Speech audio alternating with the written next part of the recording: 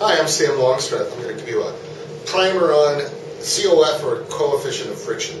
Coefficient of friction is important when we're talking about polyethylene films because we want the polyethylene film to behave in different ways depending upon the application.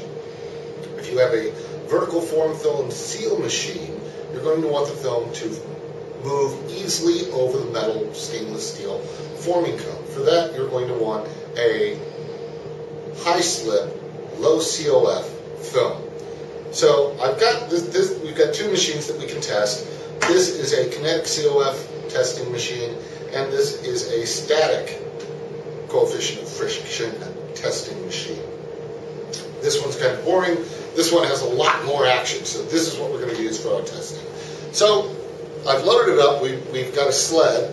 We put one piece of film on the sled, and it's attached by this clip. Then the other one goes here, and the sled is right here and creates a circuit.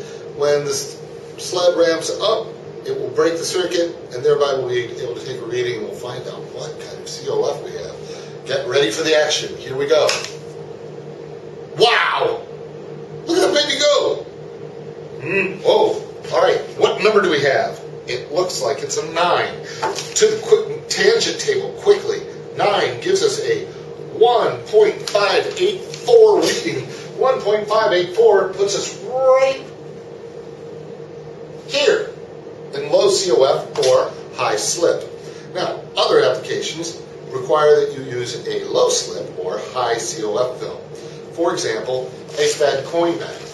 This material has to have low or no slip, actually no slip, because one of the features of this bag is that it has some adhesive attached to it, and if you had something that had a lot of slip in it, it wouldn't hold on very well to this adhesive. This adhesive isn't working at all. There, it's already, this one's already been done, as you can see. It creates a really good bond with that film. I've cut a section out of it right here, and that's what we're going to use to perform the test. So let me clip that on.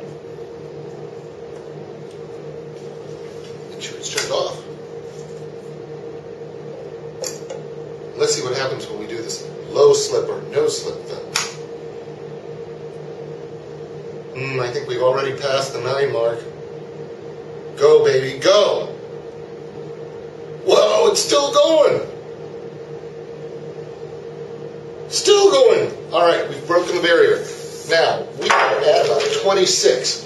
26 to the tangent table is a 0.4877. We're all the way far into medium COF and almost to a high. It's about where you're going to be with a uh, very low or no slip film.